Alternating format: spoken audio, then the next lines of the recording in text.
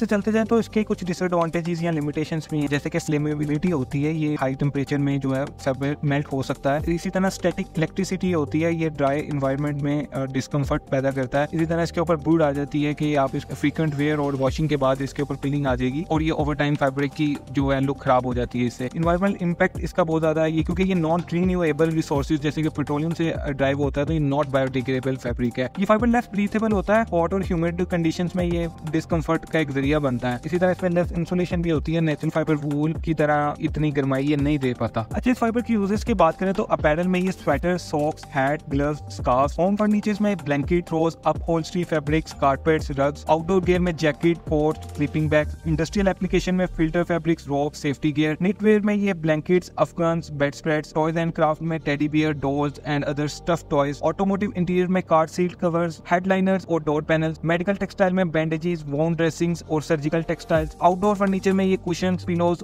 ऑनिंग्स fashion से लेकर furnishing तक एक्रेलिक फाइबर हमारी जिंदगी में रास्ता बनाता जा रहा है